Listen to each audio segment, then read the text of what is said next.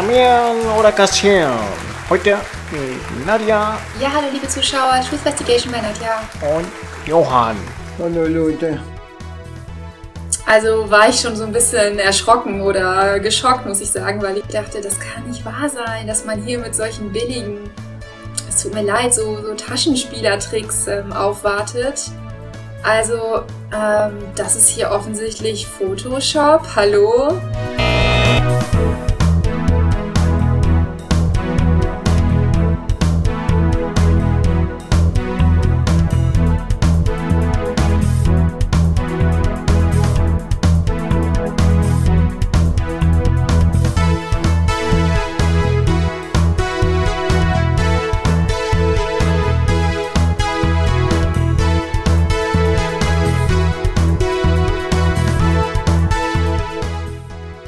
Aber das Bild, das ist einfach mit einem Wand Weitwinkelobjektiv aufgenommen von dieser Ecke, von dieser Ecke.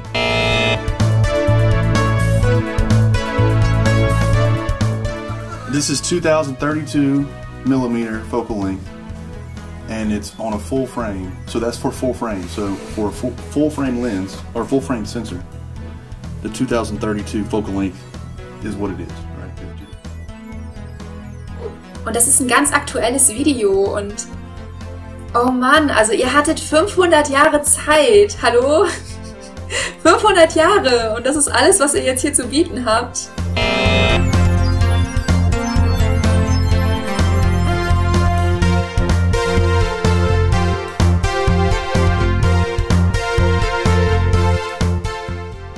Und wer Fotos äh, manipulieren wird, zum Beispiel, äh, der braucht nicht nur Weitwinkelobjektiv, sondern ein Shift-Objektiv.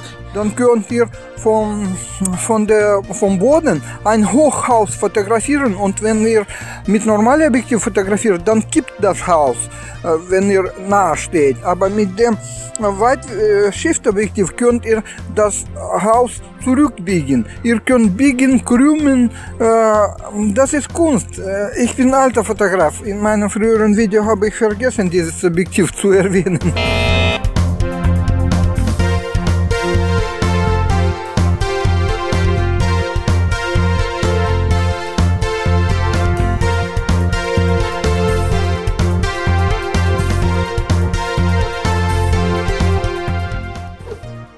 Ja, das ist eigentlich das, äh, worauf seine ganze Beweisführung ähm, sich bezieht. Also dieses Foto oder diese zwei, drei Fotos.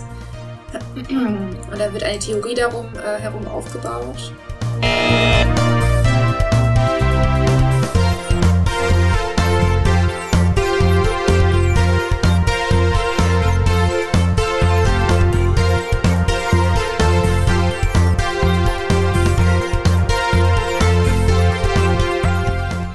Also mit Fotografie kann man alles machen und darf man nicht glauben jeden Scheiß. Das ist unmöglich. Zum Beispiel diese Distanz beträgt nicht mal äh, 100 Kilometer und so eine Krümmung ha- hat gemacht. Das